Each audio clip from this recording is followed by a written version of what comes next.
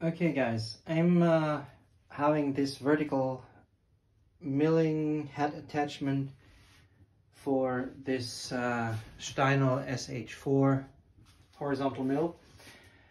And this head here weighs about 42 kilograms. So it is not a piece of machinery that is, you know, held with one hand. And it has to be mounted on, on this flange there and the four screws that you see here in uh, on, on, on the wooden block need to be positioned uh, here in this T-slot in the right position. They can, they can um, rotate around to tilt the head.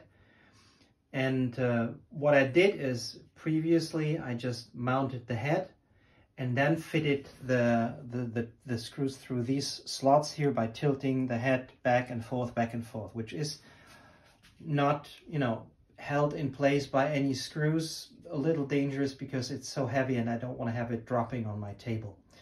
So I asked myself, what can I do to position the screws already at the right point in this in this T-slot so that I can just slide the the head on using more or less the table here.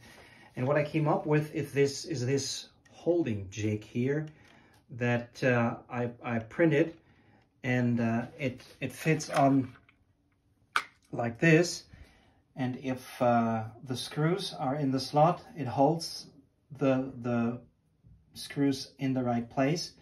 Then you can mount the head and uh, these slots here have all their, their center here in this pivot point.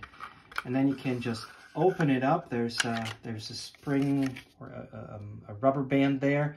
You can open it up and then, you know, get it out of the way, attach the head fully and, and screw it, screw it in place, which hopefully will ease things a lot.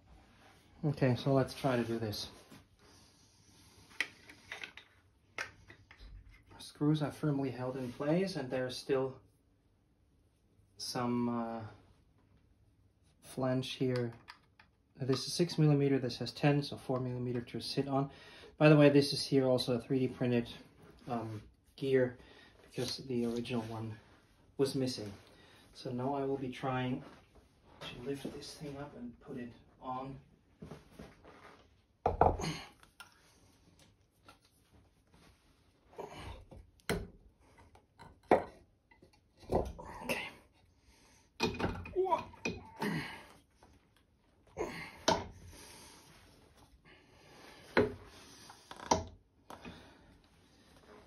So once it's held in position, it's quite easy to use the table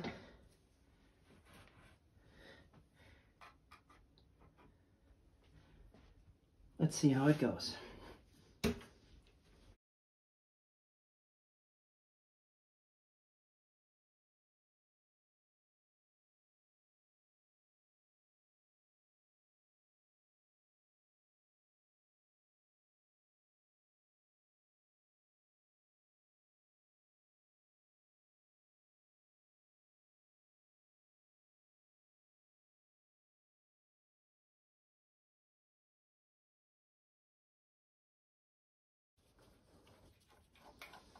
Now I can just, I hope, I just can, yeah, remove it.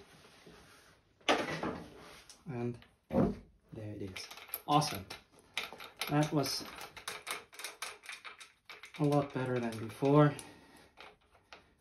And now it can be screwed in place and trimmed in precisely.